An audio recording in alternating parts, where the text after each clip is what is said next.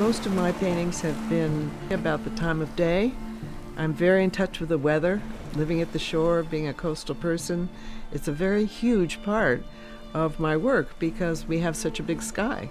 And that's really the roof of my house. And I'm just always in touch with it. My paintings always have a clearing sky, but they're stormy. And I like the low light.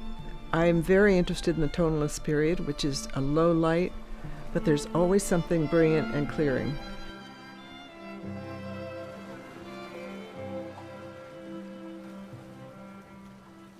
Being an artist is so much a part of me and everything that I do that I, I sometimes have a hard time separating it. A lot of people don't really understand artists, and it's hard to explain to somebody what you see when they don't see the same thing. I was brought up to develop what my mom always called a seeing eye. She was a major flower arranger designer, and I became that as well. But it, it's a matter of looking very hard at what you're seeing. We just live in our own little world sometimes. It's very much a part of everything you do and live and breathe. It's also something that is enriching and nourishing, and to have a legacy for what we create is very special.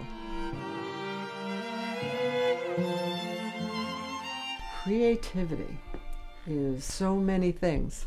I'm looking at it from the point of view of making something out of nothing and respecting the fact that I'm not in charge of it all. Art is all about what you see and how you interpret what you see. And um, as a child, I was always looking at shapes in clouds, animals, um, the ruffles of the organdy curtains. It becomes a developed skill, actually. I mean, I think probably artists have a natural gift about seeing things, but I, I think it is something one can develop. So I work with my class on that, and I work with myself on that, actually. And I think one of the most exciting parts is when you look beyond what you see.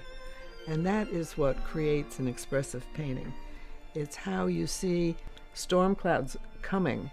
It's not just the color of the clouds or the shape of the clouds. So, um, seeing is a very complicated issue, actually, and one that um, is probably the basis of any good painting.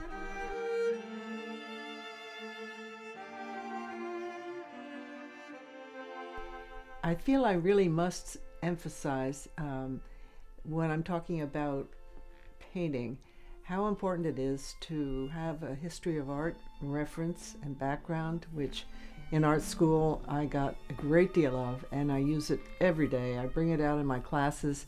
And these references of the master painters are clearly um, the foundation of any kind of good painting.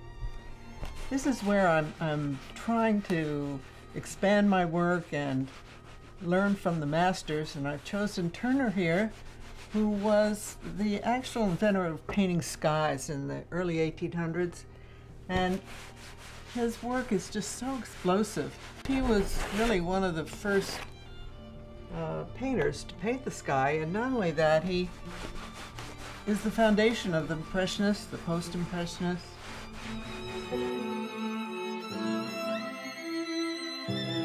I embrace change in a way that it moves me further in my work. You have to be flexible and loose.